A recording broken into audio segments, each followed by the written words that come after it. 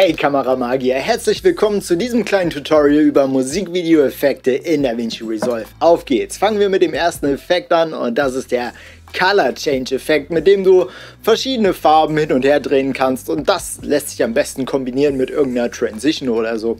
Okay, also auf geht's. In DaVinci Resolve willst du zuallererst mal in die Color Page gehen von dem Clip, den du ändern willst.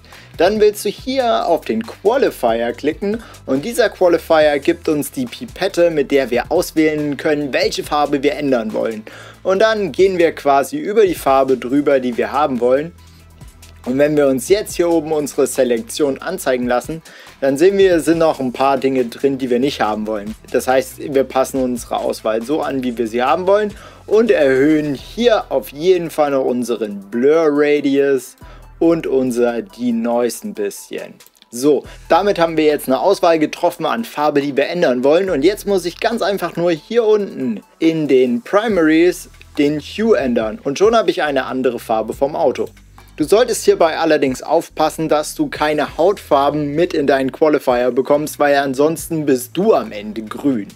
Okay, auf geht's zum nächsten Effekt. Der nächste Effekt ist ein Pixel Sorting Glitch Effekt. Und um den in DaVinci Resolve zu holen, gibt es ein kostenloses Tool von Chris Riddings, den du hier findest. Das habe ich dir unten verlinkt und den kannst du dann in folgenden Ordner speichern. Ich habe das für mich schon gemacht und ich zeige dir, wie du ihn anwendest. Okay, mit dem Clip Selected kannst du damit in Fuse gehen, also in Fusion, hier unten auf den Zauberstab. Und jetzt wollen wir hier mit Shift Space das Ganze suchen, indem du Pixel eingibst und dann hier haben wir Pixel Sorting. Und das wählen wir aus, klicken auf Add und fügen das hier mit Shift gedrückt ein, sodass es dazwischen hängt. So, und wenn das bei dir langsam ist, dann solltest du dir auf jeden Fall mal mein Fusion Cache Tutorial angucken, was ich da oben verlinkt habe. Und du siehst dann hier, so sieht's aus. Dann lass uns das Ganze mal tweaken, so dass wir auch einen schönen Effekt haben. Wenn wir diesen Effekt zum Beispiel nur in den Highlights haben wollen, dann ziehen wir einfach hier den Regler hoch und schon haben wir das Ganze nur in den Highlights oder in den Midtones, in dem Fall in dem Gesicht.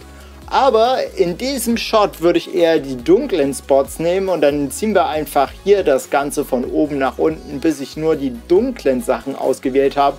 Und schon siehst du, glitschen die vertikal, also von oben nach unten. Und wenn ich das umstellen will, dann kann ich einfach hier von Vertical auf Horizontal stellen und schon glitscht das Ganze horizontal.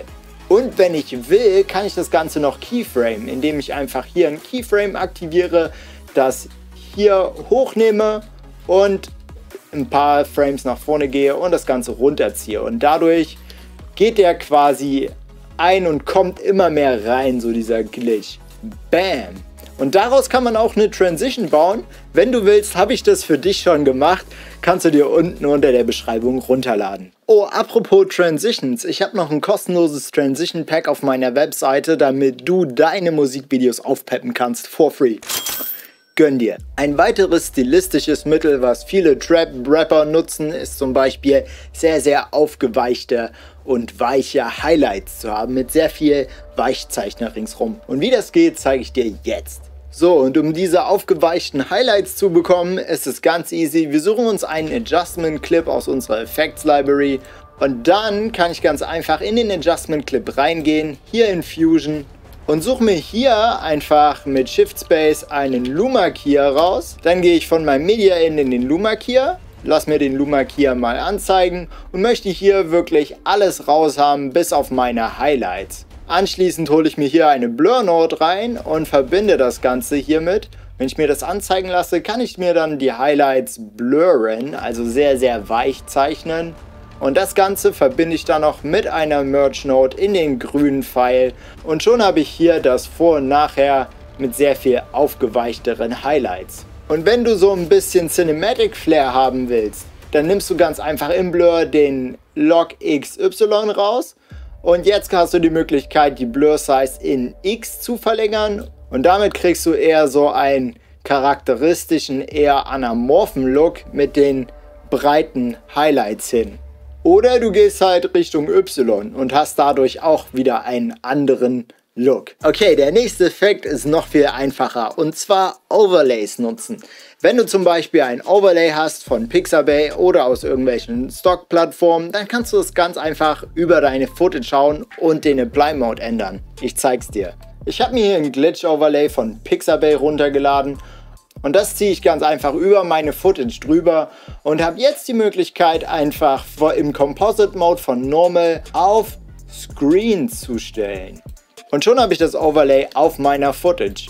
Und so kannst du ganz viele unterschiedliche Effekte über deine Videos drüberlegen. Nur denk daran, dass die, die schwarz gemalt werden sollen, dass die nicht auf Screen gestellt werden, sondern auf Multiply. Diese Textures kannst du auch nutzen, um dein Bild zu verzerren. Wie das geht, zeige ich dir jetzt. Also ich habe hier mein Glitch Overlay und hier meine Performance. Die schiebe ich beide untereinander, markiere beide mit Rechtsklick drauf in einen Fusion Clip.